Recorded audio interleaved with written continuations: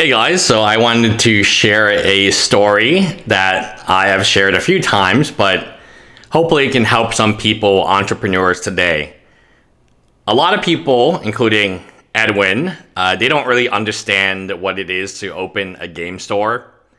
It took me a little while to understand as well, but let me share your story. So in GP Houston, it wasn't uh, the last one because that one got canceled. It was two GP Houstons ago, I remember Underground Sea was at a hundred dollars buy list at the event, and that was a lot of money at the time. Uh, I think it was the first event that the Underground Sea or any of the dual lands hit a hundred dollars buy list. So it was quite a, it was quite some time ago, probably. I had to guess 2014, 2000, nope, probably 2015, something like that, maybe 10 years ago. Um, and I went to the vendors. I was trying to kind of, I was talking to vendors, figuring out which one. I, I eventually I sold a ton to Strike Zone online, uh, local to Houston, and I then I went the next day and sold them some more because they are a they've done good business with me. They don't penny pinch and they round up. So I, I even for those little things, I think they are you know reputable. They are definitely reputable here in Houston. So um, talking to them, I'm like, okay, so how, how much did you guys sell and stuff? And every single vendor I went to that day said it's not about selling. You know, I want to open a store too. Is it worth paying at that time $5,000 for one of these booths? Uh, how much do you sell? And every single vendor gave me the same response. We don't come to GPs or Magic Fest or whatever to sell, we come to buy right? And I thought that was kind of weird. I was like, wait, why do you come to buy? I'm gonna turn a few pages so you guys can look at some good stuff. And why don't like I thought you came here to sell? And then no, no, no. Our our goal is we have two hundred thousand dollars cash. Our goal is to buy as many cards as we can get, and then we sell when we get home. I always thought that was kind of weird. And the purpose of having a game store is the amount of people. All this stuff I bought from having a game store um, as you're gonna see, there the, this is the trade stuff. Um, the other stuff has been some of the stuff has been sold. Some of the stuff is in a safe. Uh, a lot, a lot of the sealed product I still have. Um, I have tons and tons of sealed.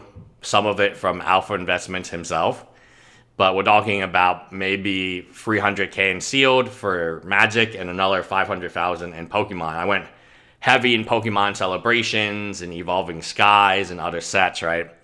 But um, the reason that you would have a store is you can get a low price for these items.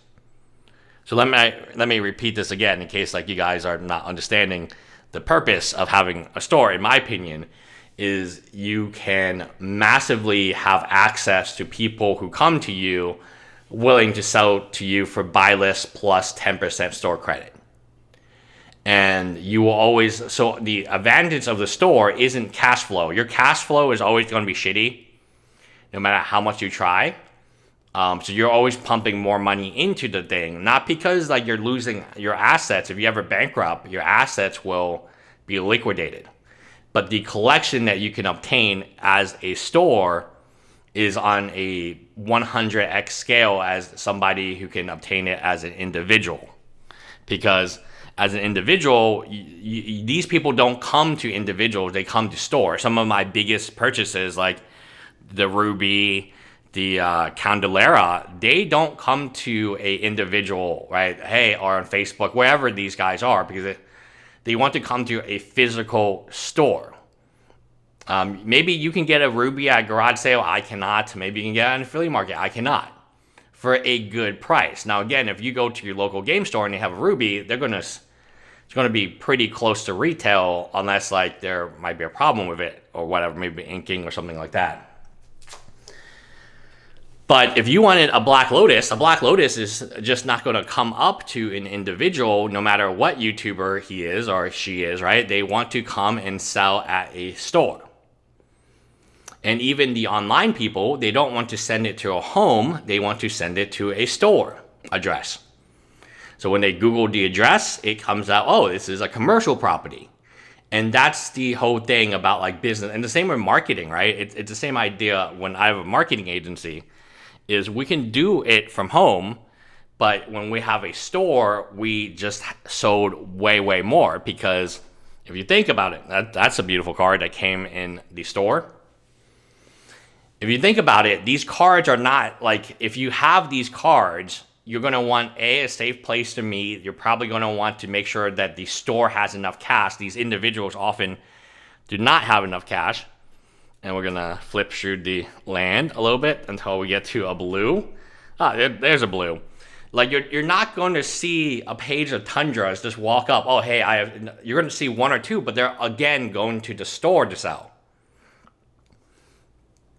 So I always did think that this was an investment opportunity. That Magic cards at one time I thought, especially this type of level, and even now, I've been wrong. I've been admittedly, I've been wrong about sealed product. Uh, sealed product has sucked, and there's nothing else I can say about that uh, from an investment standpoint. I War of the Spark was 150, 160. I was buying at 130. Now it's like 105 on TCG Player, Dominaria, Modern Horizon. You can take the whole list of products, and they're exactly the same uh, none of the products recently have really gone up a lot in price. Uh, maybe Fallout Collector's Edition, Lord of the Ring Collector's Edition. But compared, so when I mean Magic products, I don't mean Universe Beyond. Universe Beyond is obviously doing really well at this moment. But um, if you really wanted to like get like 400 dual lands, there's no way a, a single human being can do it without actually being a company, like a corporation and that was kind of where I am with, um, you know, like that's a whole page of underground seas that you see right here.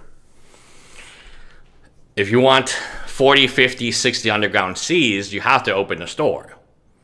And uh, the other issue with the Pokemon thing, uh, interesting enough, you know, I bought a lot of sealed Pokemon from customers, but I didn't really buy that many singles.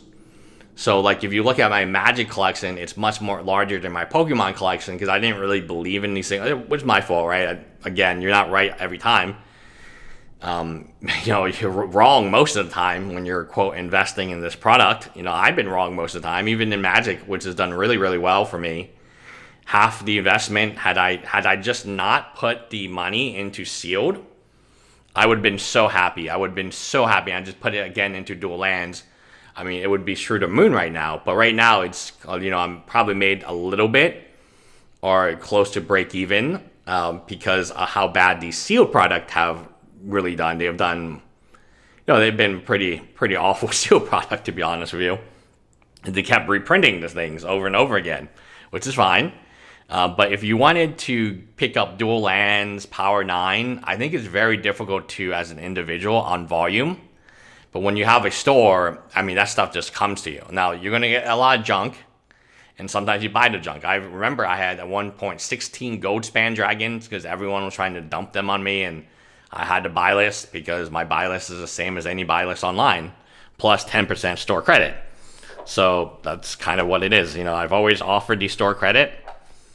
Uh, there's a beautiful island, uh, tropical islands. So anyway, that's kind of my spiel about like being a collector, like to do it next level, like you do need to own a store. Now, will you make a shit ton of money? No. Will it be very depressing running a store? Yes. And a lot of people would think that like, oh, my store is a failure because it closed down. It just closed until I have more time. But my collection continues to get bigger and bigger and bigger.